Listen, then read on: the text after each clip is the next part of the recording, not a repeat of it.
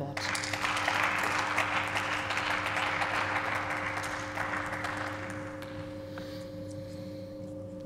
Frau Präsidentin, meine Damen und Herren! Ein neuer Gedenkort für deutsche Gräueltaten soll also errichtet werden, so nannte Spiegel Online in schöner Direktheit das geplante Dokumentationszentrum Zweiter Weltkrieg und deutsche Besatzungsherrschaft in Europa. Ich schicke voraus, auch die AfD-Fraktion weicht nicht von der einzig möglichen Meinung ab, die man als informierter und vernünftiger Mensch von den historischen Vorgängen haben kann. Das nationalsozialistische Regime mit seiner aggressiven Rassenideologie und der von Hitler hemmungslos eingesetzten Kriegsmaschinerie hat unsägliches Leid über Europa gebracht und insbesondere mit der Shoah ein Verbrechen von historischer Monstrosität begangen, auf das die Antwort nur lauten kann, nie wieder. Nun haben wir das Denkmal für die ermordeten Juden Europas. Wir haben die Topographie des Terrors, wir haben die KZ-Gedenkstätten, das Programm Jugend erinnert und vieles mehr. All das hat aber nicht verhindert, dass auf der Documenta in Kassel der Kunstausstellung mit weltweiter Ausstrahlung unter Mitverantwortung von Kulturstaatsministerin Claudia Roth vor wenigen Tagen ein riesiges Banner zu sehen war, einer indonesischen Künstler- oder Aktivistengruppe mit widerwärtigen antisemitischen Karikaturen nach Art des Stürmers. Wirklich Hass und Hetze schlimmster Art, um die Begriffe zu verwenden, mit denen Sie immer sonst so schnell zur Hand sind. Erlauben Sie eine Zwischenfrage aus der Fraktion? Dass Sie, Frau Roth, Herr Abgeordneter, das alles verharmlost haben. Herr Abgeordneter? Nicht Heißt das Nein? Nein, das heißt okay. Nein, ja.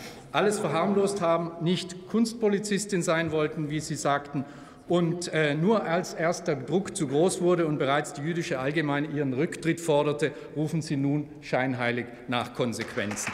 Werte Kollegen, wie viele Dokumentationszentren wollen Sie denn noch bauen, damit diese Heuchelei endlich aufhört, damit Sie nicht mehr unterscheiden zwischen den bösen Antisemiten und den vielleicht doch irgendwie guten Antisemiten? Erkennen Sie denn nicht, dass Ihr exzessives Zelebrieren der deutschen Schuld und Verantwortung völlig unglaubwürdig ist und zunichte gemacht wird, wenn Sie gleichzeitig die postkolonialistische Ideologie, die diese Karikaturen produziert hat und die erwiesenermaßen eine antisemitische Schlagseite hat, quasi zur kulturellen Staatsdoktrin erheben in Deutschland. Und die Probleme gehen noch weiter.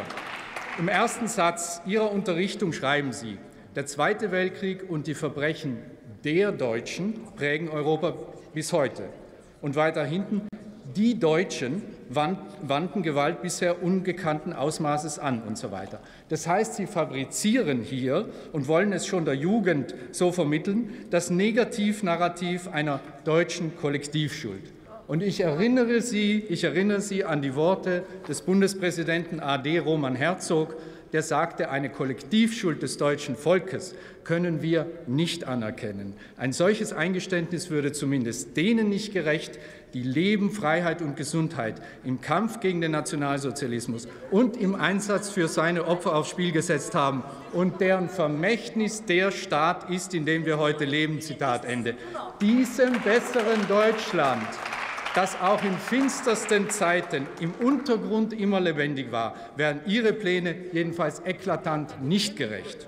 Und wenn wir dann noch lesen, parallel zur Dauerausstellung zur Kriegszeit sollen Wechselausstellungen zur Gegenwart wie auch zur Vorgeschichte stattfinden, dann wird klar, die Nazi-Gräuel sollen hier zum Fluchtpunkt der gesamten deutschen Geschichte stilisiert werden. Unter der Last dieser Schuld und der Pflicht der unendlichen Wiedergutmachung sollen jetzt in aktuellen Debatten alle Argumente verstummen, etwa gegen die schrankenlose Masseneinwanderung oder jetzt ähm, gegen eine bis zur Selbstschädigung reichende Opferbereitschaft bei Maßnahmen im Ukraine-Krieg. Stets wird eine hypermoralische Haltung als alternativlos präsentiert. Abweichende Sichtweisen werden schnell unter Nazi-Verdacht gestellt.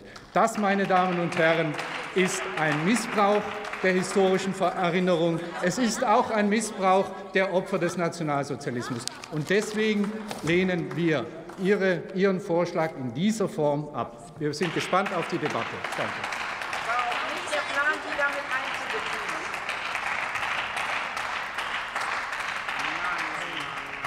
Für die FDP-Fraktion erhält das Wort Thomas Hacker.